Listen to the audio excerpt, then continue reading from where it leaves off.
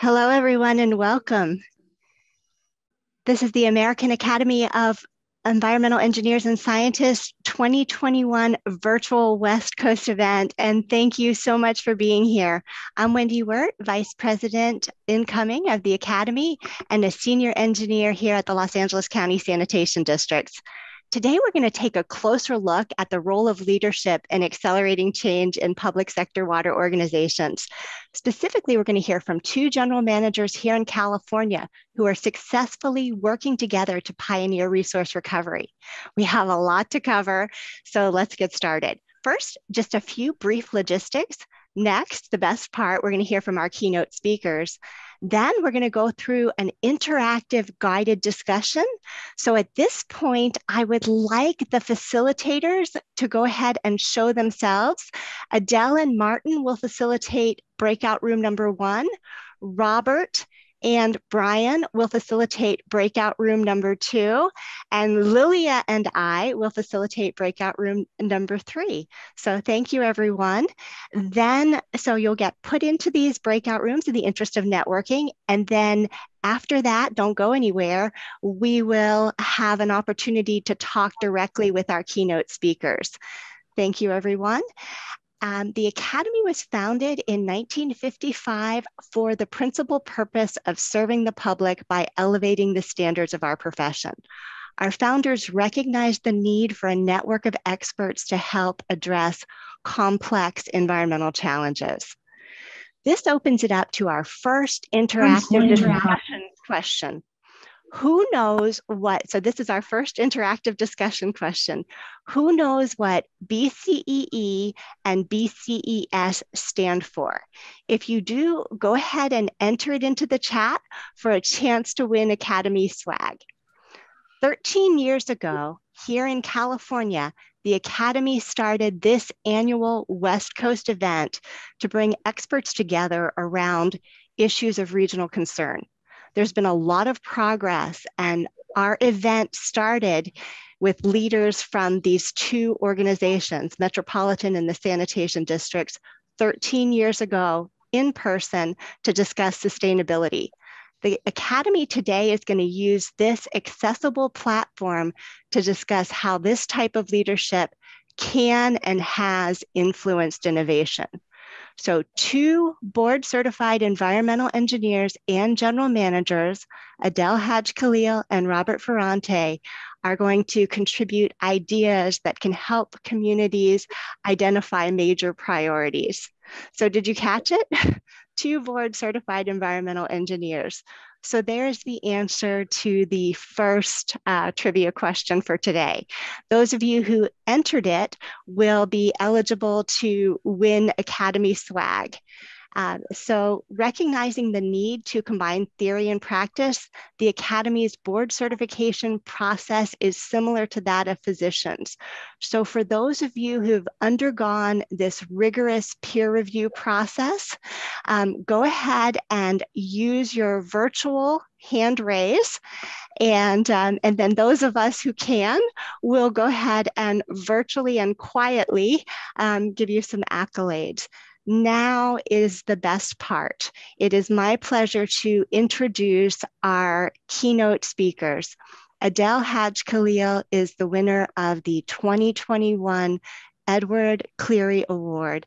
Adel has over 32 years of public service experience in the management of water, environmental, and infrastructure programs and initiatives.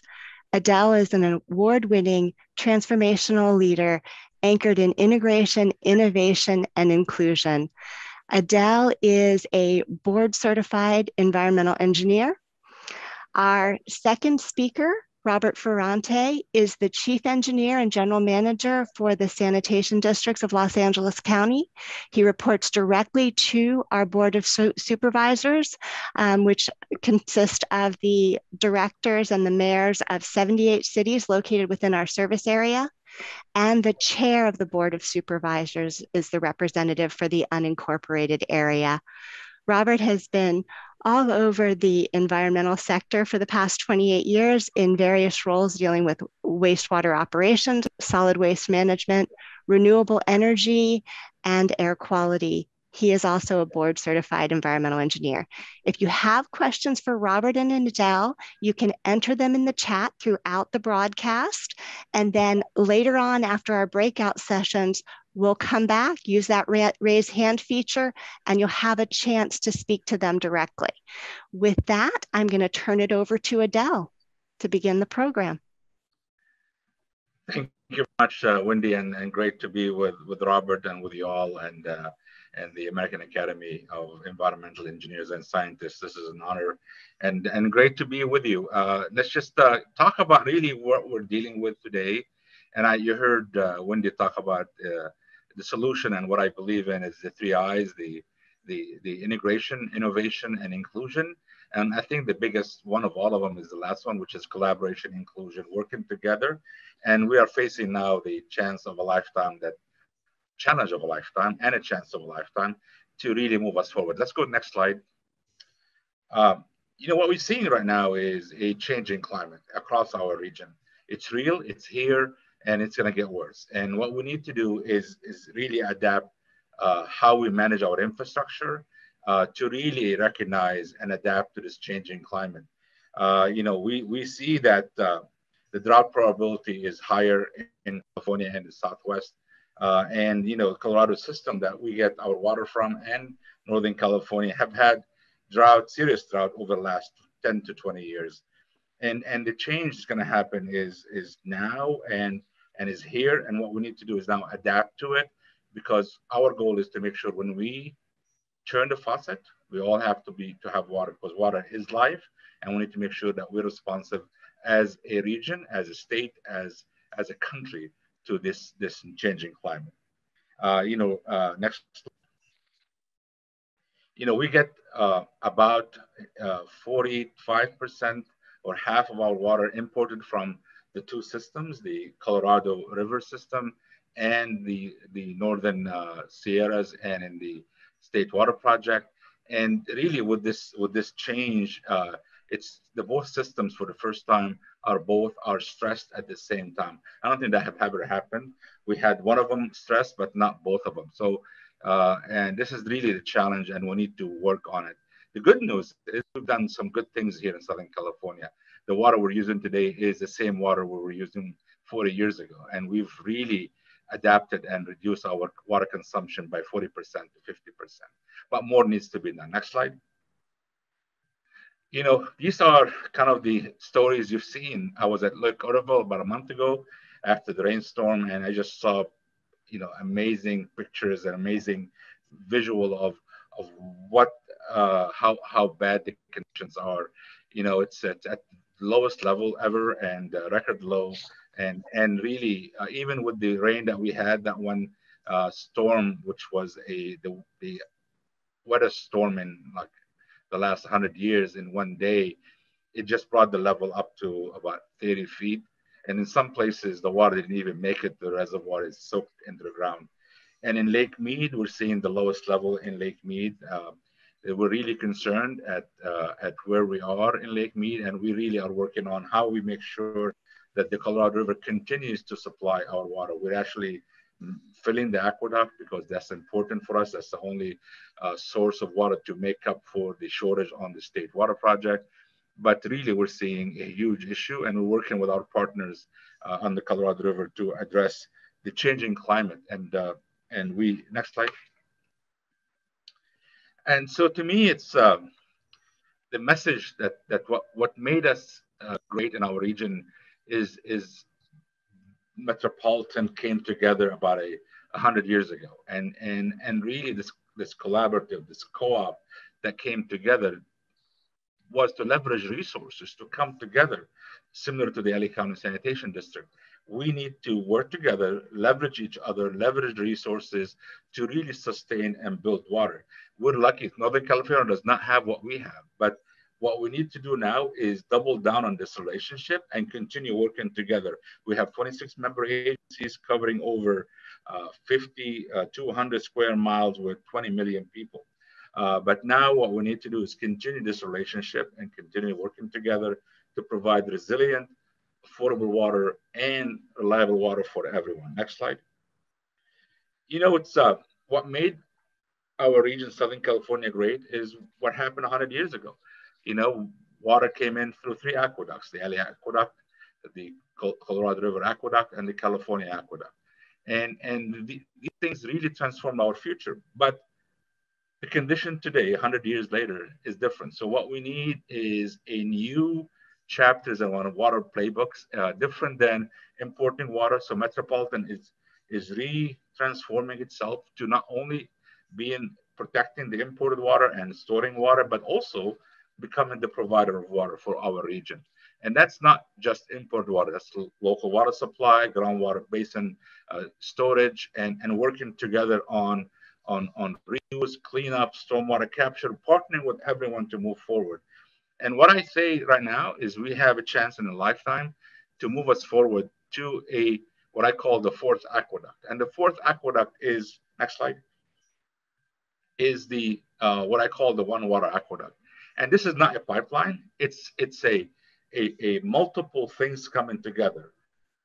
Local water supply, recycled water, groundwater uh, uh, mitigation, groundwater storage, surface storage, uh, uh, resiliency, and connecting pipes together to move water around. That's the future. That's the future of the fourth aqueduct. And, and this is the new playbook that we all have to have. Every drop have to be recycled. Every drop have to be saved. And if we save it, let's store it for the next year. And when we have rain, let's capture the rain and put it in use or store it for the next drought. That's really the future and, and uh, what we have. Next slide. And All I'm right. going to turn it over to Robert here. Thank you, Adel, uh, and thank you to the Academy as well for, for hosting this event. I think Adel really touched on the need for uh, transformative change now. We're not we're not at the point where we can just tweak things. We really have to look for new solutions. Uh, what worked last century uh, in in in terms of uh, meeting the water demands is not going to meet uh, the demands today that we have. And I think he did a good job of showing you the impact of drought and climate change. Um, before I get into our side of the story, I do want to talk a little bit about the sanitation districts. Um, we're a little bit smaller than Metropolitan. Uh, we only treat the sewage from about five and a half million people across LA County. We basically handle um, uh, more than half of the county, the city of LA, and a, and a few other smaller agencies handle the rest. We are a special district. We're not a county department. We're our own entity. Uh, we're kind of unique with our governance in terms of the fact that uh, we're actually 24 districts working together. We have uh, close to 100 directors. They're all the mayors of the 78 cities. And as Wendy mentioned earlier, the board of supervisors are on our uh, directors and on, on our various boards as well. Next slide, please. This kind of shows you our wastewater system, uh, that, that, we really have separate and distinct systems. Uh, up in Antelope Valley, you can see the Lancaster and Palmdale uh, water reclamation plants. We also have a couple of plants in the Santa Clarita Valley. 90% uh, of our flow and over 90% of the population that we serve is down in the lower LA basin. And um, we recycle already from 10 of our 11 plants, uh, those purple triangles. And that those plants produce tertiary uh, water and that water is mostly allocated. Uh, there's still a little bit of it that uh, is discharged uh, and is not uh, allocated either to for groundwater recharge or for industrial users or for irrigation. Some of our water is dedicated also for habitat as well. But um, the, the uh, water that's really out there for us uh, to, to put together a big project is at our joint water pollution control plant. That's the blue triangle. That's in Carson. Uh, and if I can go to the next slide, here's a close-up of that facility. Uh, the facility is designed to handle uh, 400 million gallons per day of wastewater, uh, and that's dry weather flow. It can handle more, of course, during wet weather. And this plant treats currently to secondary treatment, disinfects the water, and discharges it out into the ocean. And um, what a couple of interesting things about this plant. This plant, as Adel mentioned, uh, in the late 90s, this plant was doing about 375, 380 million gallons per day. So you could see the effects of water conservation. Water conservation really works. Uh, and, and, and so we've seen a drop of about, uh, you know, 25, 30% just in our flows in our area from water conservation. Um, the second thing I, uh, I wanted to mention is that this plant, this was our original plant, started almost 100 years ago. And the concept for this plant was always to take the strongest wastes and our upstream plants that we were doing recycling from took more of the residential. So this plant has always had uh, essentially saltier water. And, um, you know, up until about 15, 20 years ago, uh, technology and economics weren't there for water recycling from this facility. But obviously, and, and um, that's almost another talk, the technology is there uh, that can recycle even this saltier uh, wastewater cost effectively. Next slide, please. Once again, this reiterates a little bit of my, uh, the story that I was telling from our inception back in the 1920s.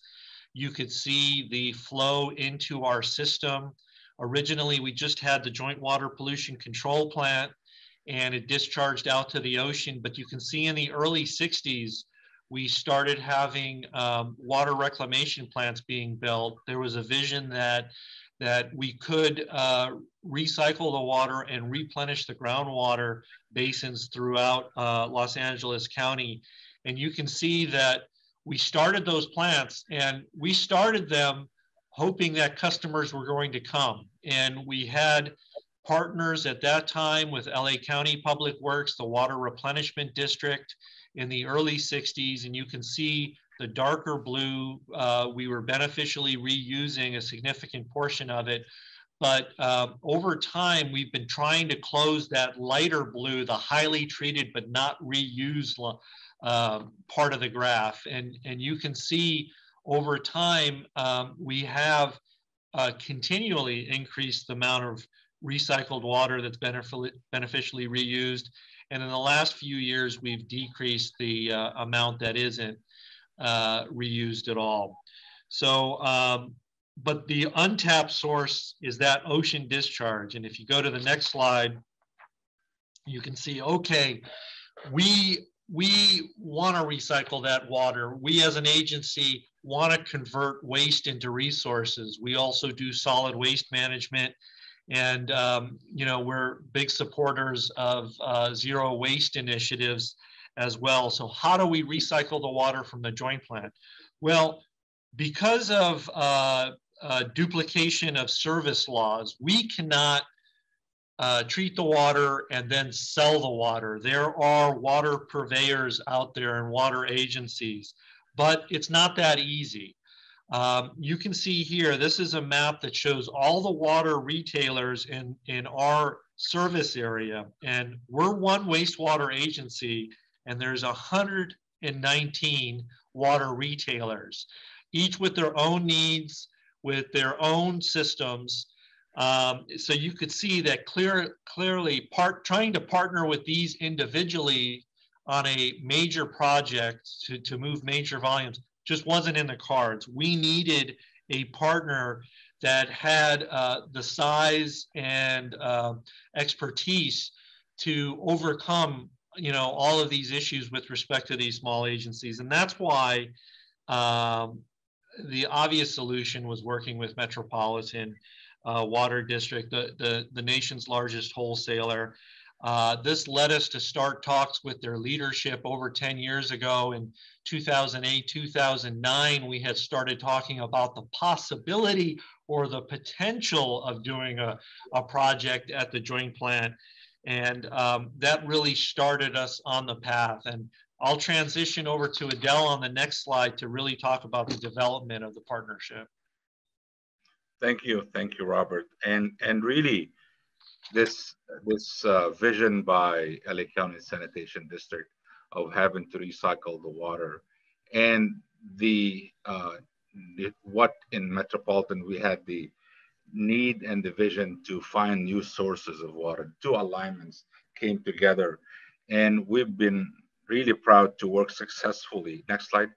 Um, on building this partnership with the uh, LA County. So we have a larger service area we developed. As you know, we've been always focused on imported water, but really the shift now is we need to create more local water supply. And MET has to play a role in, in creating that and helping uh, on a regional basis uh, this production. And we couldn't have a better partner than than LA County Sanitation District and their team they have and uh, and uh, and the work we've done. So we started the the process, uh, the initial meeting, the pilot uh, of of advanced work starting in 2009 to 2012, and then we in 2015 we signed an agreement to pursue the demonstration scale treatment facility. Uh, we, we, started designing it and building it in 2016, and we finished construction in 2017.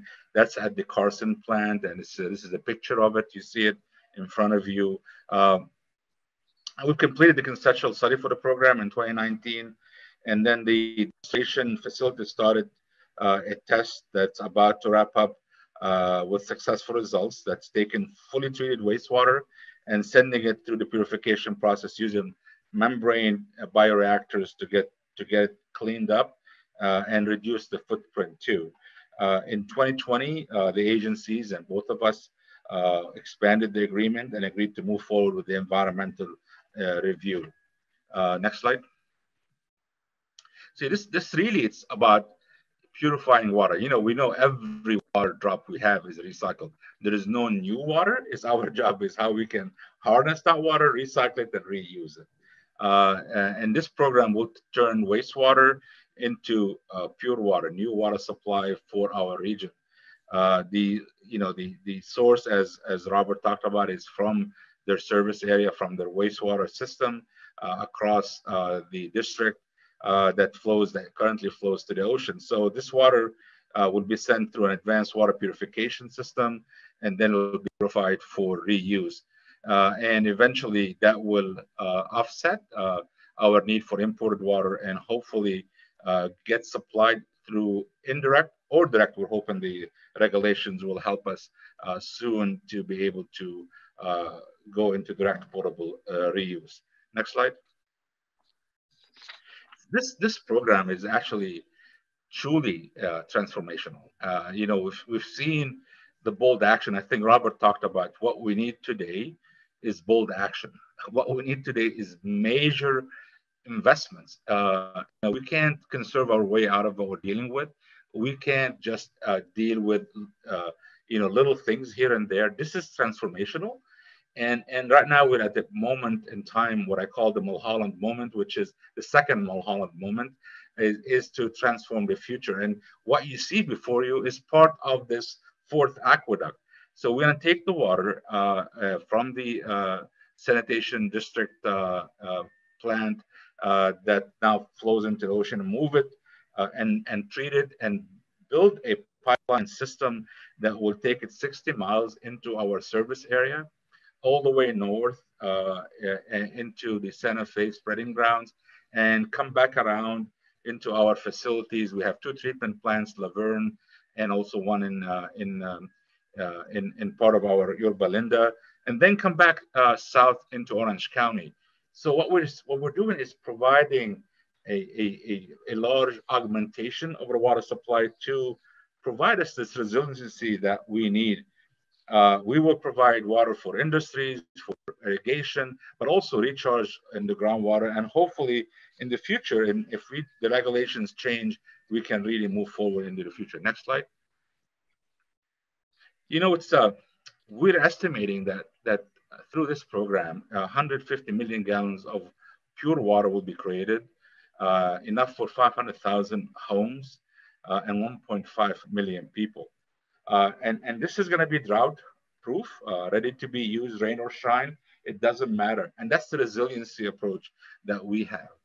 This is really the benefit for water supply. The environmental benefit it closes the loop. It's, it helps us, uh, you know, uh, make the pie bigger for water, to help the environment up in the Sierras, to help us in Lake Mead, uh, and, and, and address this issue. But also, reusing every drop of water is the right thing to do for the environment. Economic benefit. You know, this is really, we, and I, and I shared that today. Yes, I'm in DC right now when I was meeting with some of the uh, leaders here in DC and also had a meeting about really community wealth and, and helping communities grow. And, you know, part of the infrastructure funding from the bipartisan infrastructure bill is to ensure that there is justice 40, 40% goes to uh, communities of color. And I think this is the chance that by doing this investment, we're going to create jobs, 50,000 jobs for the region. Uh, construction is about $8 billion in economic output. Operation and maintenance, $300 million annually in economic output. And, and so this is going to be transformational. It's going to be great. And our goal is to hire from the community, provide this opportunity to uplift communities. Because I think what we do here is not just infrastructure, it's people, uplifting people's lives through water protection, through jobs, through environmental protection and enhancements. And at the end of the day, what we all are doing is making sure the water is safe. We're providing reliable sources of water, cleaning up the water, but at the end of the day, it's uplifting people's lives. And that's really what I believe strongly the future. Next slide. The question is money. And as I'm in DC trying to figure out how we can, you know, uh, help ourselves, we have a new uh, appropriation in the uh, bipartisan infrastructure for $450 million for uh, large recycled water projects. And we'll hopefully get some of that money moving quickly to us here but it's the cost is, is, is high. It's $3.4 billion. Annual O&M is $129 million. The average cost for an acre foot is $1,800, which is still, it's to me is, uh, a lot of people ask, isn't that expensive? Said, the cost of no water is a lot more expensive. And I think a lot of us don't, don't, don't get that discussion. So we really are, are really asking right now our partners both at the state and the federal government. I was here talking to the senators and Congress members and Department of the Interior, Bureau of Reclamation, EPA. We need to have them help us because I think this project is not just a LA project. It's not a, a metropolitan Southern California project. It's a state project, a regional project for the entire Southwest. And that's why we have a partnership with uh, Nevada, Arizona, and putting money on the table because they see this helping us on the Colorado River. And as you know, we're, we're going through negotiations right now on how to uh, manage the drought in the Colorado, how to split the water as as we're trying to get to a new agreement, drought agreement uh, for for this effort. Uh, but you know, it's it's it's something that we're working really hard, and uh, and I think that's something that we will be working. Our goal is to reduce the impact on our ratepayers uh, by getting grants from both the state and the federal government and, and move forward and get this moving quickly, uh, hopefully in the near future. Next slide. Let me, let me uh, talk a little bit more uh, about keys to partnership. And, and uh, next slide. You know, uh, Metropolitan is, is we are looking at every way and everything we do. We just finished our integrated resource plan uh, this by this uh, hopefully end of this year. And then we're going to start this one water uh, implementation plan to close the gaps. We in 2045 plan looking for where the gaps are, and the gaps vary from 200,000 acre feet to 1.3 million acre feet. And the whole thing is how we can close the gap, and we need to plan for it. And this is an anchor. This this untapped wastewater is the future. Unfortunately, 20 years ago, this whole thing that was put out as toilet to tap set us back 20, 25 years ago. And I, I, this is the chance right now to push forward. The technology is there, and we need to partner with everyone. And we couldn't find a better partner than, than LA County Sanitation. And that's something that's happening up and down the coast. I mean, you go to San Diego, that's being done. Orange County led the way on that effort, and we thank them for this work. There's a lot of effort happening in our partners in the city of Los Angeles, similar to what we're doing, almost the same size. And then you look at Las Virgenes and, and what they're doing with, with pure water uh, or uh, pure water Las Virgenes. Um, we are regional, all of us are regional, and our job to, is to kind of take the blinders off and work together and collaborate.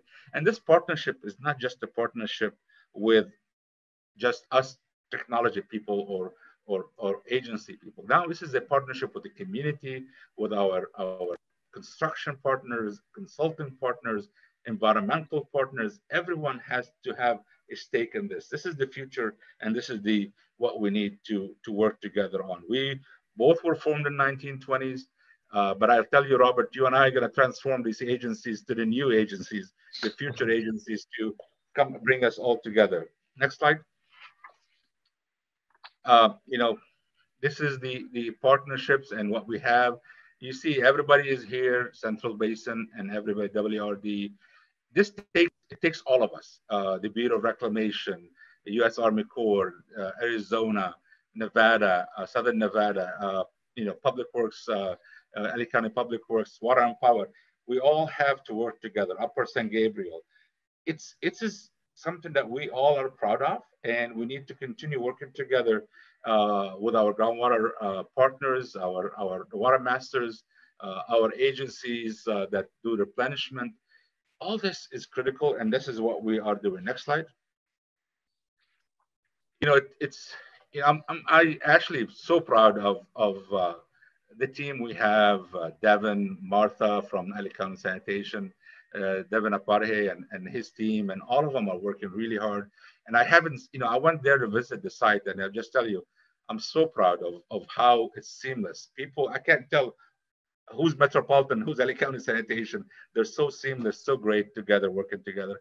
And the technology is amazing. Using bioreactors, uh, you know, finding ways to see how we can really get to direct potable reuse, how to help in the workforce development. We're pioneering research and moving forward. And, and I'll, I'll tell you, so, so thankful and so grateful for this because the, we have a chance in time right now to really uh, help transform our water future and and and reduce our water footprint, but also reduce our our overall dependence on imported water and provide people resilient and affordable water for everyone. With that, I'll turn it over to Robert.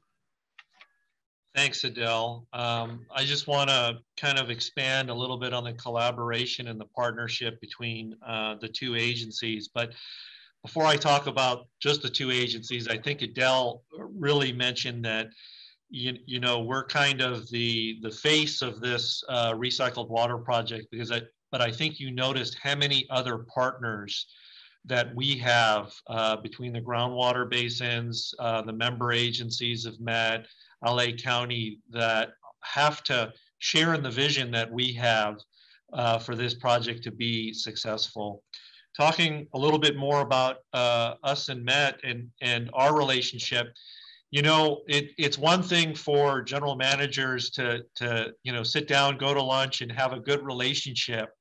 But for the partnership to be successful, it really needs to be the staffs that need to work together. Uh, and, it, and it's not just staff that are developing the, the technical project. It's everything to the, you know, the financing, the, the outreach, the tremendous amount of public outreach that is necessary for this. And one of the keys that uh, I've seen uh, with respect to the uh, our staffs working together is exactly what Adel mentioned. That when you sit down at a meeting, you really can't tell who's district staff and who's metropolitan staff. Um, you know, the leadership teams alone have met over 30 times over the last uh, few years. Uh, we meet routinely to move things forward. Our staff have met even more and, and on subgroups, and those relationships are so important, uh, not only at the high levels, but at the at the mid mid levels of staff. And sharing the technical expertise together, I think, is very important. It's our laboratory, it's our permitting groups, it's working together on a common message. You know, the state of California is looking at uh, direct potable reuse regulations, working together on those as well.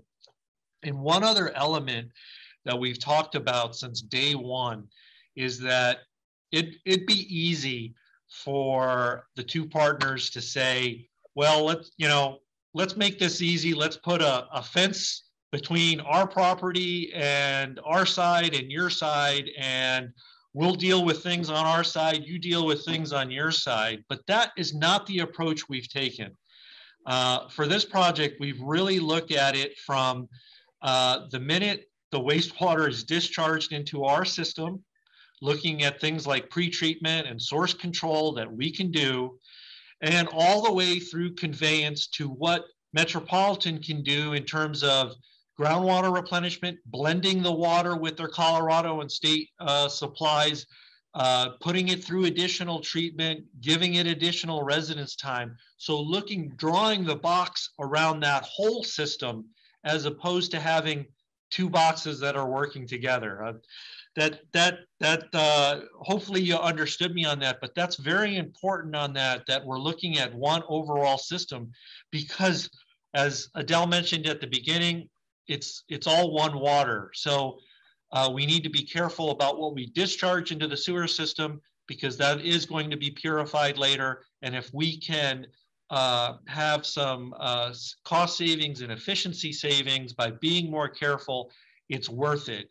We don't build facilities that are going to operate for five years or 10 years. We build, both of our agencies build, in essence, forever facilities. So we need to think along that long-term uh, horizon. And we're very grateful to working with Metropolitan and not only Metropolitan, but their member agencies have been very supportive too in, in undertaking this and moving forward. And with that, could you move to the next slide as we transition now and we look at, well, what are the next steps? So just a couple of weeks ago, we've hired, we've already hired the consultants, the team has, and we've started the environmental review process. Obviously, this is a complex project. It's not just an advanced treatment system at one location. There's the conveyance, uh, miles and miles of conveyance through a number of cities that needs to be looked at, as well as other issues with respect to uh, just the water treatment and water reuse. A key component of this is the extensive outreach. Uh, you know, every time we meet, we get an update on the outreach meetings, and there are meetings occurring essentially weekly with different groups, whether they be uh, government stakeholders, environmental groups, community groups, uh, and um, you know even regulators as well, keeping them informed of our progress and keeping them involved in the process. One of the things that we're looking at as part of this overall system is potentially uh, nitrogen management at our joint water pollution control plant. Uh, currently, our plant does not uh, treat uh, for nitrogen, does not remove nitrogen, but there uh, could be significant benefits for advanced treatment by removing nitrogen and also additional benefits to us for the uh, residual amount of water that uh, still is discharged out into the environment. So that is something, and that's part of looking at the at this program as one system and not two systems. And finally, all of this work will require uh, strong uh, relationships with the regulators, especially the regional board, public health, and the state for them to understand what we're doing. This is not only novel for us, for many of them, this is a novel project as well. So coming up to speed and having the confidence that we can uh, effectively treat the water and safely treat the water is going to be very important in getting their buy-in from the beginning and also getting their understanding of the uh, mitigation that's necessary uh, for a project of this magnitude too. We have to work with uh, the regulators on communicating that. Next slide. A little bit on the uh, program schedule. Uh, we're currently in the environmental planning phase. Uh, we estimate that that'll take about, uh, you know, two years uh, and a little bit. Uh, we're really looking at 2024 to complete that process and to transition from the planning phase into, okay, everything's fully green lighted. Let's move on to design and construction. And design and construction, um, if I can step back a little bit, um, this project has many different elements, and we are committed to trying to, as, as all of you know, California is in a drought today. California has issues with water today. The sooner we can get the uh, pipeline flowing from this project, the better off the region, the state, and the Southwest is. So we're all committed to moving forward as quickly as possible. So we may uh, do the design in different phases with the conveyance going simultaneously with the treatment to try and accelerate things so that the construction can be uh, done as quickly as possible. Currently, we estimate startup uh, in 2032. Uh, a lot of that depends upon our final uh, preliminary engineering and what the project actually looks like in terms of what systems it has, what conveyance route it has, and um, uh, all of how the, the, the system will work. But we're optimistic that we can meet that deadline. Next slide, please. And, and just really to, to summarize, uh, as Adel is saying, you know, the environment recycles the water for us. So all we're doing is accelerating what Mother Nature does for us, and we're creating purified water. The water from uh, this uh, system will be so purified, we actually have to add minerals back in.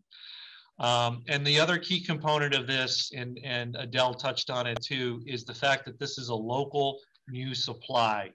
This will go towards replenishing groundwater basins that will be critical during extended droughts. That is our security deposit. That is our, our, our bank vault that we can uh, uh, cash in during the extended drought.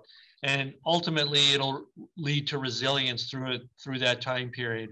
We hope in the future uh, that we, when when California is experiencing very little rainfall, very little snow, we're, we're not talking about the fact that we're going to be going through a, water crisis because we've built systems like this and because our partners at other agencies have built systems like these. With that, uh, if you can move on to the next slide, um, that really concludes uh, our presentation. And uh, I think we're going to kind of do a little bit of a deeper dive and discussion with you all in a networking session. And I think I'll hand it over to back to Wendy to talk a little bit about the breakout rooms and, and uh, what we'll be doing over the next 15 minutes or so. Absolutely. And I love that, Robert all water is recycled. And then the quote from Adel that I liked best was our second Mulholland moment. So, for all of you who are out there, we're going to, in the spirit of innovation, try something new. So, keep yourself muted, but do turn your cameras on. We are going to go into three different breakout rooms. Uh, join me in kind of silently thanking Robert and Adel. And keep in mind, they're going to be here to answer specific questions after this networking discussion. So at this point, we're going to go into three different rooms and Lilia and I will be in breakout room number three and you're going to go through a guided discussion. We'll come back and report out. So if you want to go put it, go ahead and start putting us in breakout rooms, Marissa, we're ready for it.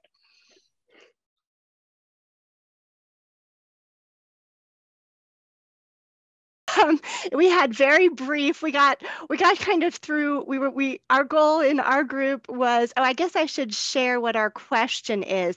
Brian do you have the question? Do you want me to i'll just i think what i'll do is i'll read it off and then i'll let um, our scribe lilia start reporting out. Um, but actually we need to go through uh, group one first. Sorry about that. I'm super excited. So group one was facilitated by Martin and Adel. So we'd be interested in hearing them report out and I guess start by reading your questions since the other groups didn't see those. Well, sure. Let me just say that um, because we had such an intimate group that we just uh, we just spent a time a little bit more time getting to know one another.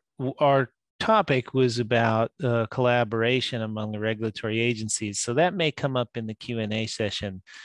Uh, because I think what really was um, presented in our breakout room was was the fact that California is really in this leadership role, uh, we had the opportunity of uh, uh, of someone from uh, uh, well, an agency based in Virginia, someone in from Tennessee, and local experience there that was really talking about um, how the work that we're doing um, is uh, is being looked at from well beyond the boundaries of California. So success in this in this project is uh, going to have ripple effects beyond California.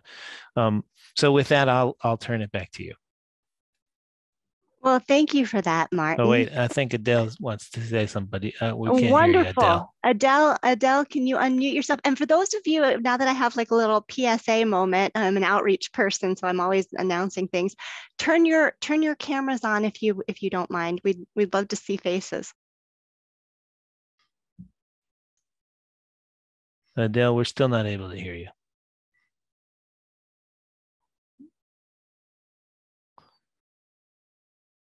We'll try to figure it out and come back to you. Go ahead, Wendy. All right, no, no worries, Martin. Um, excellent observations from group one. And now I will turn it over to Brian and perhaps the scribe for group two, kind of go through the question and uh, talk about some of the discussion there. But I am excited by what Martin said that we had a small, intimate group.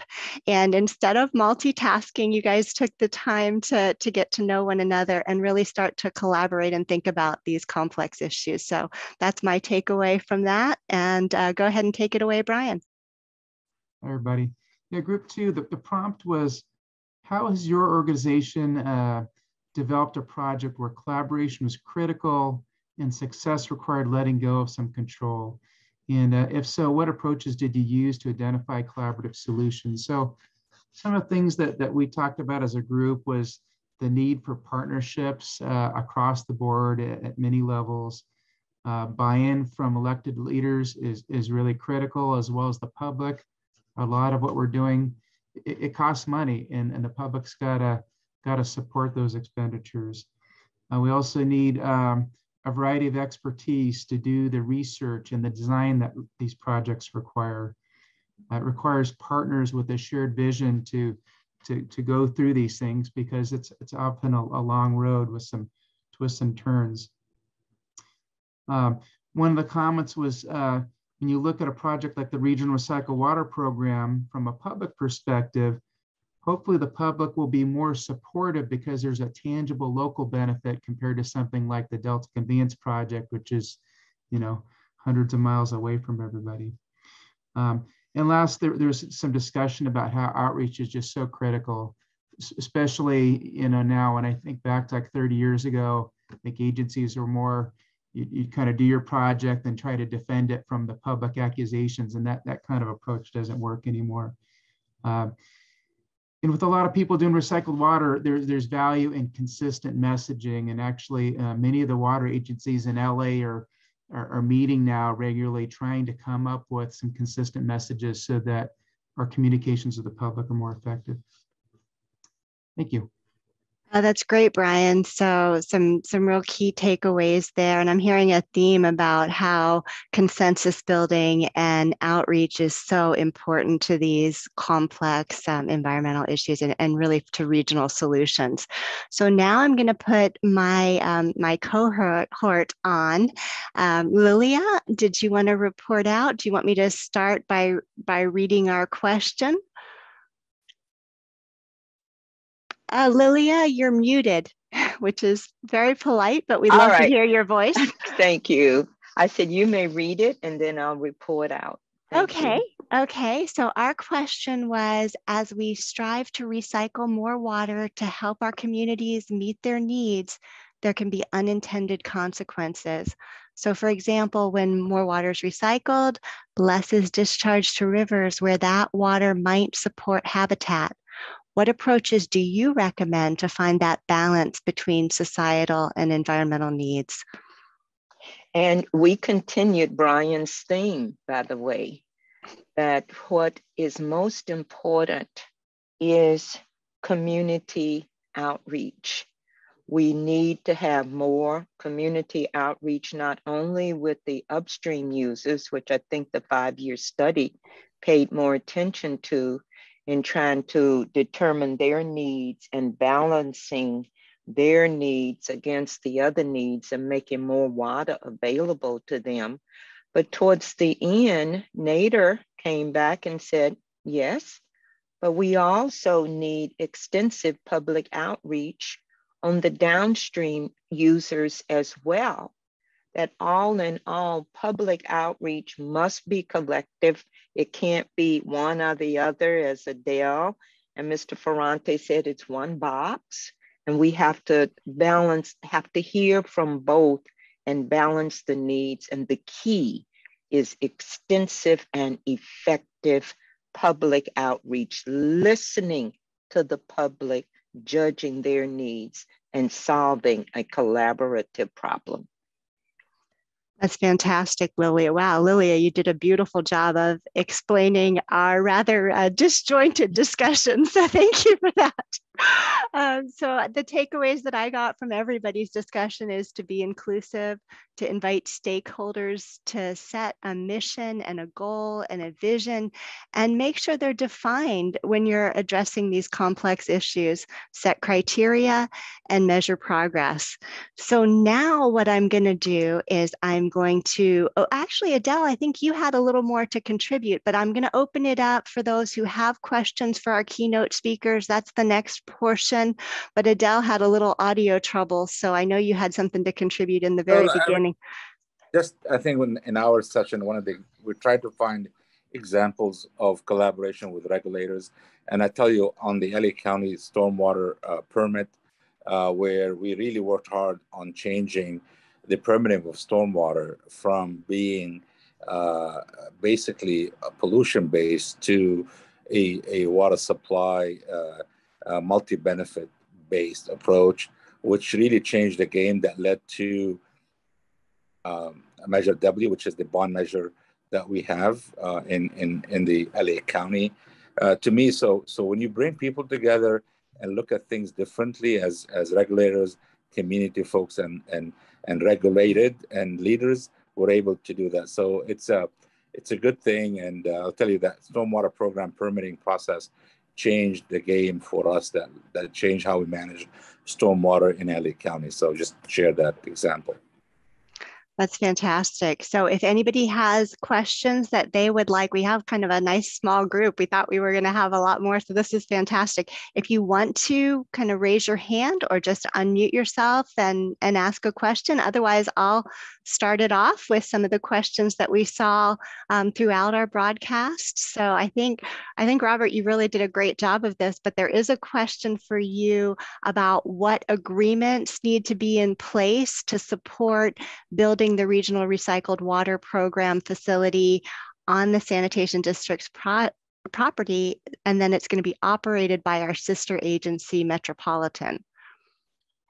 Sure. Um, so yeah, we we do have already a couple of agreements with Metropolitan with respect to uh, initial uh, an initial one for the demo plant, and then moving forward, uh, and we will need subsequent agreements to to uh, further the project.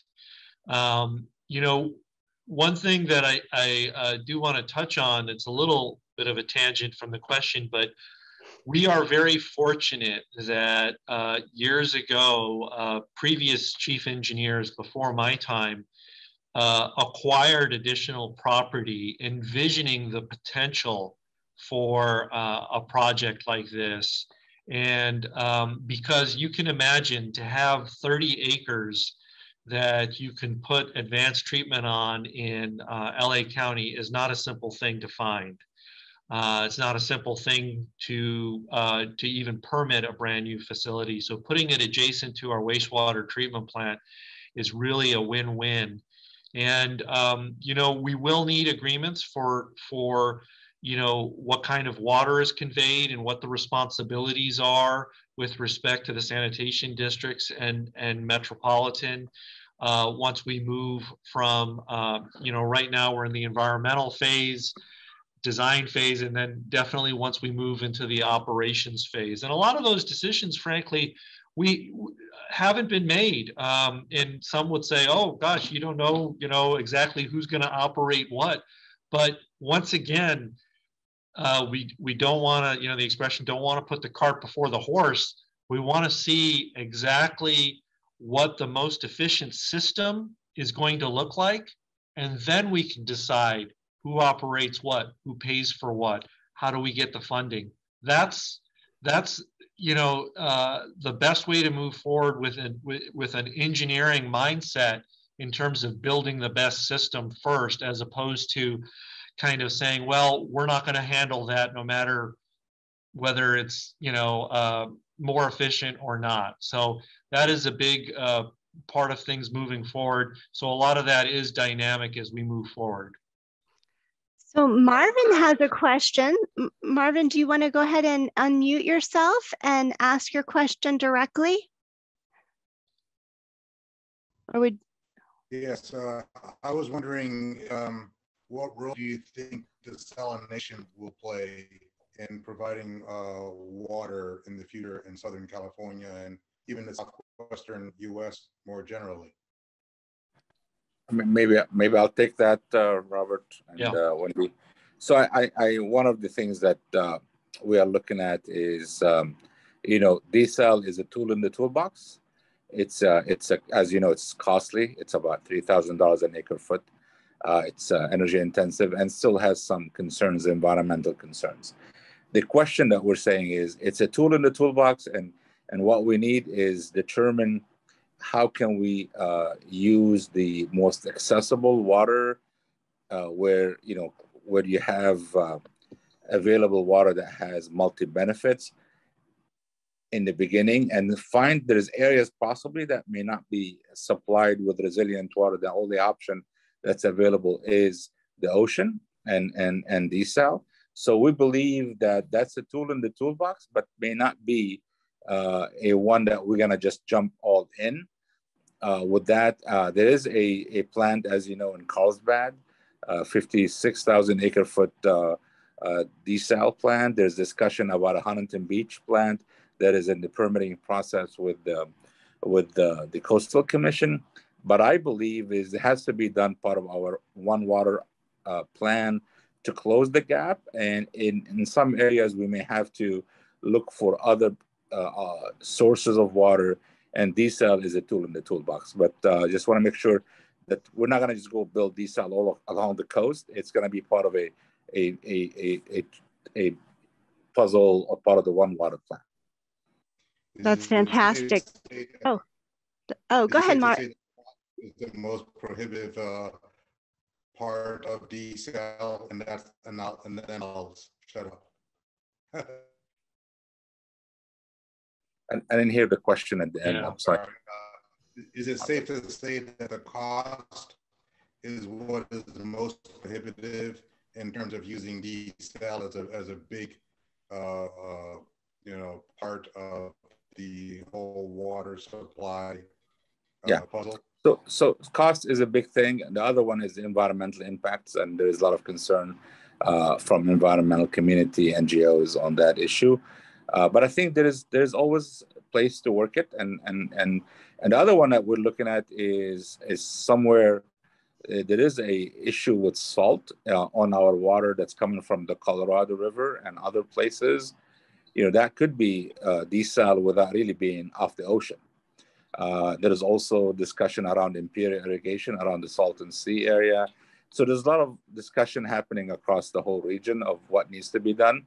But as you know, the Colorado River water is uh, has high salinity, and that maybe at some point we may have to do some salt removal uh, just to uh, make it um, uh, more acceptable, and also to minimize the flushing that farmers have to do because of salt. So uh, there's there's bigger than just than just getting ocean water out and and actually what you look at what you're doing in, in the uh, project, the regional recycled water project, a lot of it is using the same technology, the, the membrane technology, uh, but the only thing you have is you have the MBR ahead of it. So, uh, but we'll, we'll, we'll talk more about it. So, that actually that actually brings up. Go ahead.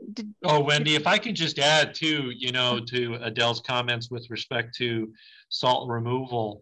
is that uh, as he just mentioned, the technology is similar that we're looking at to a desal plant, but the, the difference is, of course, ocean water is is what 20 times saltier than than our water that we have our effluent at the joint plant. So that's why it requires even more energy, more reverse osmosis to remove that uh, salt from the water. So, and that's why the low hanging fruit is to treat the recycled water and it, it, it can be done at a lower cost. Oh, that's fantastic. And then the next question is for Adele. You got everybody excited about your program, and they're saying that 2032 seems like a long way off. Is there any way to compress the schedule?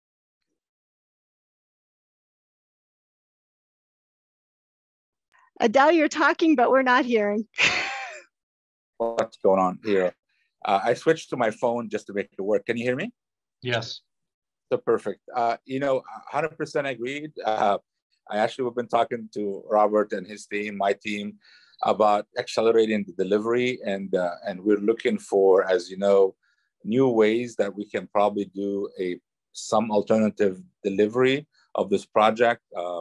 Our chief engineer is talking to uh, the team at LA County uh, Sanitation District, and also our staff are thinking about maybe we can do the the, the conveyance and and the storage and the recharge components uh, ahead of the game because what would that will do is buy us time to uh, during the next rain event, the next amount of next year that we have uh, uh water available from the Colorado or from uh, the, the state water project or stormwater uh, rain, we can uh, start using the facilities to recharge the basins using uh, water that's available, excess water that's available to us during wet years, while we are working towards the technology at the treatment plant. So there is ways maybe we can, I said, deliver it backwards and do the pipeline and do the recharge ahead of time and use it for many years as we move forward through this. And one thing that we need to do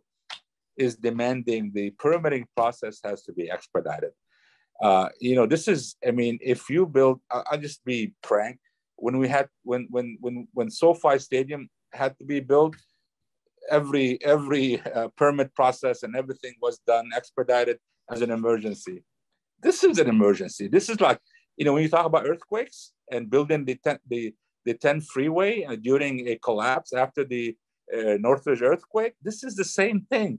This is the same as the Katrina flooding. But we're saying we, we, we are, we need to treat it the same way. This is a emergency, urgency, catastrophe. And I, I and I'm, I'm just, I'm not demand everyone uh, from every permitting agency, from the state, everyone who's working with us, treat this as a emergency. And and I'll tell you, we're going to do everything we know. I know Robert and his team is thinking hard about how we expedite. My team is thinking hard how we expedite. We're going to ask for help from everyone to think outside the box. But at the end of the day, also, we need our permanent partners from the state and the federal government and the local government and the everyone, the Corps of Engineers, to help us move things forward fast and, and really treat this with an urgency that needs to be treated with. Uh, that's fantastic, Adel. And the next question is for Robert. Um, the question is, is uh, there was a lot of talk about salt and is the brine from the Regional Recycled Water Project facility uh, going to cause any process issues for the joint plant? So that that is a very good question because that is uh, one of the issues that we're looking at and doing research on right now. You know, Adel mentioned that uh, Orange County um, uh, Water and uh, the Water District and the Sanitation Agency have been doing a recycled water project down there. And um, they do discharge the brine out the clean it's clean brine it's it's after it's gone through the treatment plant then it goes through the advanced treatment uh, system so the brine is clean but they have been looking to see if that concentrated brine what the toxicity of it is and what the impact on the environment is. So we also have been looking already at some of the information we're collecting um, uh, during the demonstration phase, looking at the brine and looking at its uh, toxicity and making sure that it is safe to discharge that residual.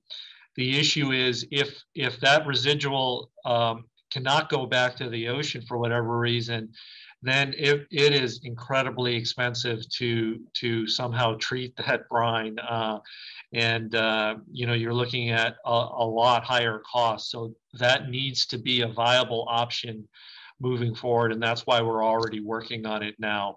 But as far as upsetting the joint plant process, it shouldn't. It can go out right the back of uh, our treatment plant and into. We have two tunnels that uh, connect uh, off of the Palos Verdes Peninsula, connect into outfalls, and then it gets uh, discharged two miles offshore, two, 200 feet und under the uh, surface of water. So it shouldn't impact the joint plant, but we're making sure it doesn't impact the environment. That's great, Robert. Thank you. And speaking of dollars, the next question is for Adel. Adel, you said that the local source of clean water from the Regional Recycled Water Program facility is expected to cost about $1,800 per acre foot in 2018 dollars. How does that compare to the cost of imported water? Yeah, imported water is actually, if you look at uh, what people pay right now, it's about 800 untreated and about 1100 thousand dollars treated. There's $300, I think, uh, surcharge on treatment if you get treated. So it, it there is about, you know, uh, you know, six, $700 difference probably.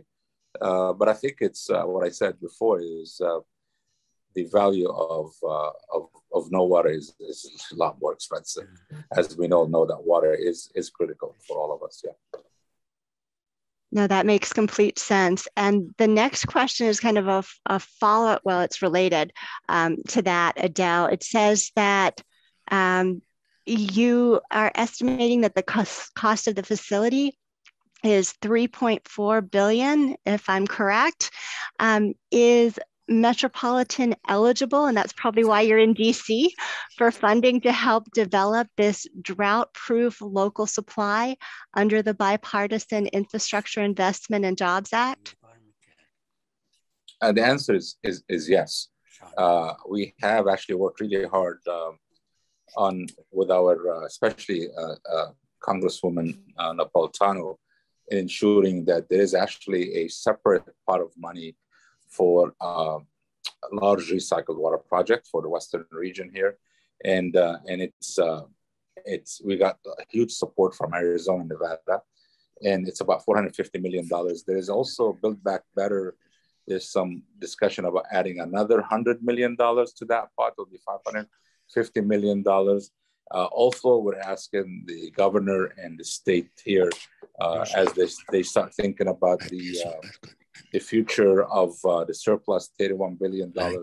And maybe there's a way we can put that money in uh, and help some of us move this forward. Because at the end of the day, uh, uh our ratepayers have to pay for this. If we can help them uh, take that uh, burden off our ratepayers, especially that 50 to 60% of our water ratepayers are actually underserved communities. So uh, every every dollar helps and our partnership with Nevada, Arizona also is good because we've had some financial agreement on the on the planning side and hoping as we do construction they'll be willing to invest construction dollars that will help uh, uh, with the uh, uh you know offsetting some of the import water that we have from Colorado and we can uh, store more water in Lake Mead uh, as a result of this to bring the level up for everyone. So there's a lot of more regional partnership and and, and California partnership. And hopefully, whatever we can do to reduce the impact on ratepayers, we will do everything we can. Uh, that's fantastic, Adel. Thank you. And Marvin had a follow up question for Robert. Marvin, do you want to unmute yourself? Are you safe to do so, or do you want me to ask your question? You want me to ask it? Okay. Robert, is there a market for selling any brine that can't safely be discharged back into the environment? So yeah, that's that's an interesting question uh, because over the last few years, people have looked at treatment plants and tried to re- recover more of the minerals from the wastewater. So um, we haven't done a, a lot of research in this, but to answer your question, there might be. Um, Uh, I'm not sure there'll be a market where uh, somebody would be maybe willing to pay for it. Uh, they may be willing to take it, or uh, you know, um, it, it all depends. But obviously, at this point, the uh, most cost effective and what others are doing is discharging it uh, back into the ocean uh, bodies and hopefully we can continue to do that. I mean but we're always concerned. You know there's things like pfas there's other contaminants of emerging concern that we have to keep an eye on. And that's why it's so important that we look at this in one system and what comes into our sewer system even if we can remove it from uh, obviously from the purified water, and we will, we still have to be concerned about, you know, do does it get removed in our treatment plant or does it only get separated? And if it gets separated into the brine, what are the impacts on the environment? So that is a good question, and we'll have to look at that more as we move forward. Oh, great. Well, thank, thank you, Robert. Um, so we have time for about one more question. And I have one for, um, it's the same question. I'm gonna ask first Robert and then I'm gonna ask Adel. So Adel, you might wanna pay attention to Robert's answer. so what are the next steps for the sanitation districts and how can each of us here help to make the regional recycled water program a reality. And by here, I mean in this interactive forum, and then also the next steps for the sanitation districts for Robert. Yeah, so I guess the, those are really two questions. I'll answer the first question first. The, the big step for us is all about looking at the um, uh, kind of the master planning, the preliminary engineering now that we're doing. We're trying to decide uh, fundamentally whether it um, it'd be beneficial to really change the treatment process at our plant for this project. Right now, we use high purity oxygen secondary treatment. And uh, one of the, as Adel mentioned, the demo plant has been giving us information. Well, up until now, it's taken the secondary effluent to test. Now we're going to be sending it uh, primary effluent and see how it performs and see if fundamentally we should be changing out our secondary treatment uh, into more of a, a, you know biological membrane uh, MBR type of uh, system. So that is the big thing that the districts is doing, and of course looking at the overall project um, as well in terms of uh, the CEQA and the preliminary engineering supporting uh, Metropolitan or, and our other partners with respect to what people can do with this project is is continue continue their support. Uh, you know, uh, Rupam uh, down uh, works for Metropolitan and and uh, the public information and and she's the face for this project down there, giving a lot of tours, and the response has been overwhelming. Uh, overwhelmingly positive, not only from local leaders, but the public that comes and and tours the site. But we always have to be wary of, of concerns, um, you know, concerns about cost, concerns about other issues. And, and I think if we can collectively, and, and this is why I, I say it's not only it's not only one water, it's one vision. And, and I've mentioned this before that, you know, we can work well together with Metropolitan, but if our supporters and if the public and elected leaders aren't supportive, with our vision, we're never going to be able to move forward. So it really takes all of Southern California kind of moving in the same direction because this this project will impact and will benefit in a positive way all of Southern California. So continue to support the project. Uh, we will have outreach.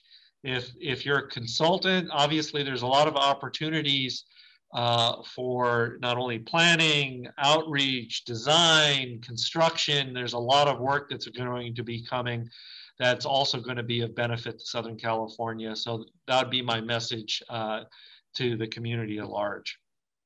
Thank you, Robert. That's fantastic. And before we let Adel answer that last question, we're going to have one more last chance. So, Sharon, did you want to go ahead and unmute yourself and ask your question directly? You're welcome to do so. Yeah, there you go. Thank you, Wendy.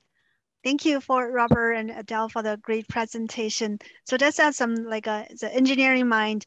Um, so could you explain, uh, elaborate some more about the flow at the uh, JWPCP, will all the treated effluent be sent into the recycle facility or is only some portion like reclaimable? So how you decide which stream is reclaimable, not reclaimable? So I think I, from the beginning and my understanding, so the the JWPCP usually uh, the, the, the influent is a saltier than the other municipal sewage. So what's the challenge of that affecting, you know, decide which, which stream is reclaimable, not reclaimable? Sounds like a still big portion uh, from 250 MGD influent to produce 150, that's a still big portion of it. Would you please elaborate some more sure. about the flow? No, Thank you. Those, those are those are great questions. So just a little bit about the joint plant. The joint plant primarily uh, is is the plant in our system that takes the most industrial flow. Um, the industrial flow to the plant is about 17 to 20 percent of the flow, whereas our water reclamation plants, it's it's just a couple of percent at most to any of those treatment plants, and that's why it is a little saltier. We do not really have the ability to bifurcate our flow, to, to, to modify our flow. I know Orange County, um, th they had a very industrial line, uh, sewer line uh, that contained almost, uh, you know, mostly industrial flows, and they did not want to um, reclaim that line. We are really looking at this because of the technology that all, all of our flow is recyclable. The, the reason why we've talked about doing 150 is because to produce 150 million gallons per day, you need about 180, 190 uh, million gallons of, uh, of uh, inflow into the advanced treatment. Uh, and that is our low flow point overnight. Uh, our low flow point actually comes to about 200 or so. So we felt with the margin of safety, we can reliably baseline the advanced water treatment system and, and have 100, 180, 185 million gallons per day, always going through a flow rate producing 150 million gallons of water. I say that now but I would, one thing we are looking at is the ability to have flow equalization and storage at our facility to be able to actually um, streamline the flow across the plant and then baseload an even higher amount to the advanced water treatment. Uh, that is something that we're looking at now during the preliminary engineering and we're looking at the CEQA. We're, we're very confident that 150 MGD can be produced all the time, but we're all also looking at can we run all of the water at the plant through an advanced treatment system and maximize the amount of water production. Uh, that's exciting. Well, this brings up our last question for real this time. So Adel, we'll go back. Um, what are the next steps for Metropolitan? I know you covered some of those in your talk. And then um, what's your take on what each of us in this forum can do to support the program? Um, so thank you, Robert. And, and I think it's uh, what we need to do is finish the, you know, the environmental process is critical looking for ways to expedite delivery, uh, work on the permitting. But at the end of the day, we need to bring it back to our board for action on uh, financing and funding. Uh, so uh, I think that's going to be the most critical part uh, is when we bring it back for uh, funding. and and and that's something that I look forward to it because that's really the green light to move forward. And everybody should advocate for this project. And it's to me, I call it the, the uh, One Water project. It's the One Water uh, uh, solution uh, that we have. Uh, and hopefully we can uh, mitigate some of the costs by getting some help from the federal and state funding to reduce impact on ratepayers. But at the end of the day, it's, if we don't do something now, you know, it's it's going to be so critical as we're seeing with the some of the zero allocation on the state water project that's causing causing a lot of our folks that are dependent on the state for a project concerns as it means to their uh, economy and impact to the economy. So uh, let's just get this going. I, I just can't say how appreciative I am for the partnership with Robert and his team. Uh, it's just uh, it's amazing. We all have to what I call uh, you know take throw the hat, um, our individual hat off, and wear this collaborative hat and build this big tent so we all fit in and work together. And water doesn't know boundaries, and neither should we make boundaries. So uh, build build boundaries. We should open everything up. We're all together um, collaborating, and, and I'm excited that I was able to join. Thank you. Uh, thank you so much, Adel. Great, great closing words. Well, thank you to everyone for participating in our very first, you guys made history today,